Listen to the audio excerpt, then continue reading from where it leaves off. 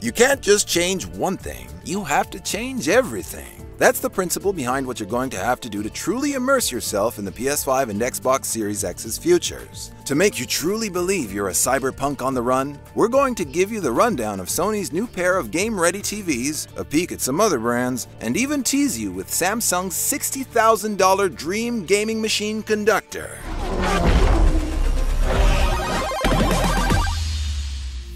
Which console needs what? With what we've seen in gaming previews so far, it seems that PS5 game developers are harnessing its console's power better. However, in theory, both machines are relatively equal in specs and are not fully playing to the top of their graphics intelligence yet. With both systems boasting of ray tracing, GPUs of 10 to 12 teraflops, and ultra-fast solid-state drive loading capabilities, all our current recommendations bear equal weight for both systems, as we estimate they will both need equal support on three levels.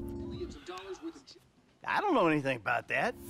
The Big Three. The holy trinity of features to look for in a Major League Gaming TV are connectivity, frame rate, and resolution. For connectivity, we're going to want an HDMI 2.1 capable boob tube. We can slam up to 48 gigabytes per second of information through that bad boy so our greedy eyes can feast on uncompressed 8K video at 60 Hz or 4K at 120 Hz. For frame rate, we're seeking 4K at 60 frames per second and up, which is an impersonation of how an athlete sees in steady competition mode. Most current games are only 30 frame per second capable, which is about how we usually perceive the world in our calm, everyday state. Gran Turismo 7 developer Kazunori Yamauchi says next-gen gaming could put out games at 240 frames per second, closer to how an elite athlete sees the game in critical moments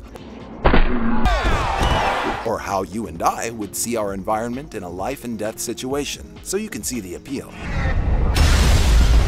For resolution, 7680 by 4320 pixels, or 8K Ultra HD for short, should do the trick. For now, current tech caps 8K gameplay at 60 frames per second though. In the future, we might be able to have our cake and eat it too on that front. This is why it may be better to hold your horses on buying a new television for now until the future catches up and can offer us more frames per second at higher resolutions. Maybe that's what the developers of the new God of War are waiting for.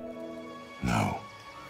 What's available now? If you wanted a gaming TV right now, you could buy the LG C9 OLED, which has HDMI 2.1, can handle 120 frames per second, and has only 4K capability, is not a bad choice. A 77-incher will set you back about 4,000 US dollars. The Samsung Q800T QLED TV has all of the above with an 8K option at 6,000 US dollars for its 75-inch model. For those of you who pledge allegiance to Sony for all electronics, we have Sony's newly launched PS5-ready duo of TVs consisting of the 4K Bravia X900H Android TV at 2500 and the Z8H 8K LED Smart TV at 7000 both priced for their 75-inch versions, of course. Let's do the math. If we add in a $50 HDMI 2.1 cable, plus the estimated $550 for a PS5 or Series X, add in a $60 game, and another $50 controller so you can play with a friend, that's $710.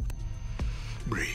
Plus the cost of your favorite 75-inch TV, and you're looking at a $3,210 to $7,710 investment, plus tax.